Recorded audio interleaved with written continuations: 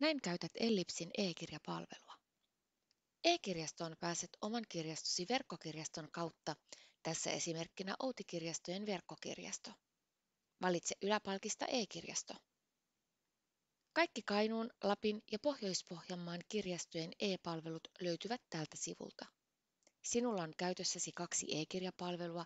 Tällä videolla tutustumme Ellipsin selainkäyttöön. Palvelusta on saatavilla myös ilmainen sovellus älypuhelimille ja tableteille. Valitse Ellips. Aivan aluksi kannattaa kirjautua sisään palveluun. Kirjoita kirjastokorttisi numero ja nelinumeroinen PIN-koodi. Se on se sama, jota tarvitset lainausautomaattiin tai verkkokirjastoon kirjautumiseen.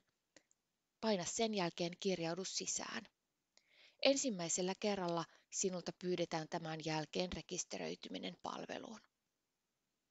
Voit lähteä selaamaan aineistoa palvelun etusivulta reunan nuolinäppäimillä.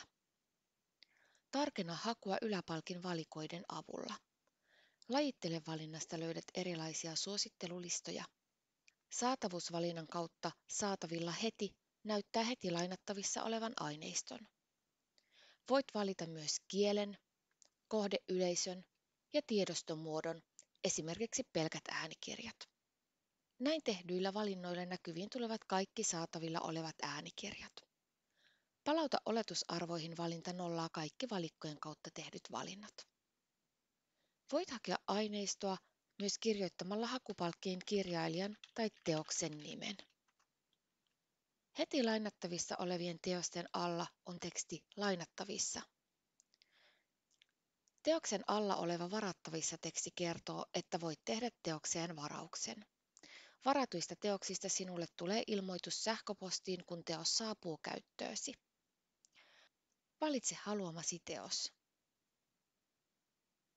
Valitse lainaajaksi joko 14 tai 7 päivää ja paina lue selaimessa, niin teos avautuu luettavaksi. Joillakin lasten ja nuorten aineistolla laina-aika voi olla myös 28 päivää. Teoksessa voit liikkua reunojen nuolinäppäinten avulla.